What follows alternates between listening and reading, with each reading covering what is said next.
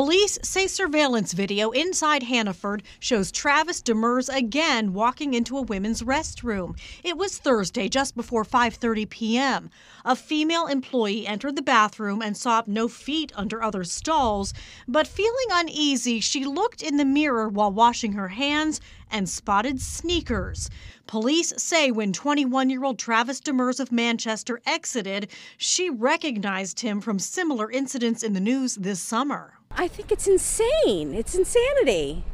He should be in jail. Sue Williamson says she was here shopping at the same time. He was in the store at the same time, and I'm very thankful that I didn't have to use the facility. Police say Demers has three similar arrests. In July, a woman reported a man reaching under a bathroom stall with a cell phone at the Mall of New Hampshire. In August, he's accused of taking pictures in a women's dressing room at Savers. Also in August, police say they found him back in a ladies' room at the mall, allegedly recording women.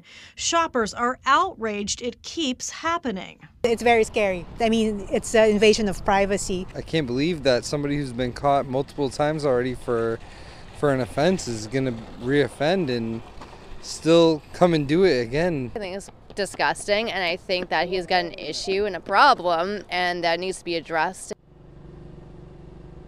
Demers is now staying in custody for allegedly violating bail conditions. And tonight, Manchester's police chief says it's time to take victims into consideration when considering bail, calling Demers a risk to the public. Live in Manchester tonight, Jean Mackin, WMUR News 9.